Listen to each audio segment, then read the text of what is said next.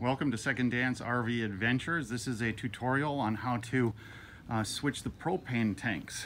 There's two tanks, one on each side and front. This is the one on the driver's side is the one you want to go to.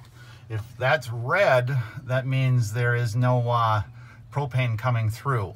Uh, so you want to either, if you turn on the propane, make sure that's turned on. And then there's also a lever right here and you flip it over to this side and you see it turns green, that means you have propane. If this tank runs out right here, then you need to go back up to this one and flip the switch to the other side and make sure that the uh, other tank is open on the top.